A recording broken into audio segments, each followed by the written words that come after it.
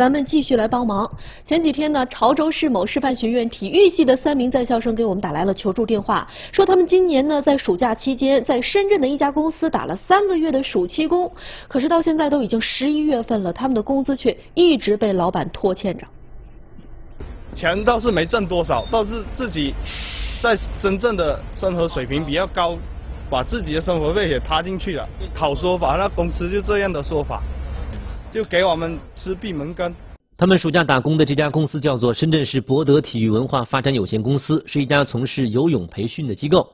公司地址设在深圳市福田区中心区雅颂居小区内，在深圳多个小区的游泳场所设有培训点，专门教小区居民学习游泳。学生们说，由于他们本身是体育系的学生，在学校的时候啊学过游泳这门课程，听说暑假期间有这么好的实践和挣钱的机会，他们便心动了。一开始我们本着就是暑假出来可以锻炼一下社会技能，还有我们可以赚一点生活费来补贴一点家用。我们大部分的家庭都是不是很富裕的那种。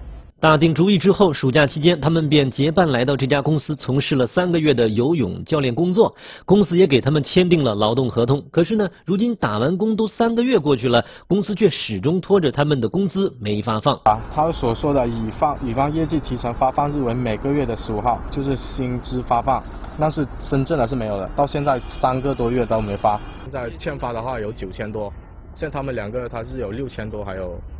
四千多，目前的话学费还没有交齐。了解完事情的大概经过之后，嘉宾律师龚生超表示，根据我国相关的法律规定，从事游泳教练这份工作是需要相应资格证书的。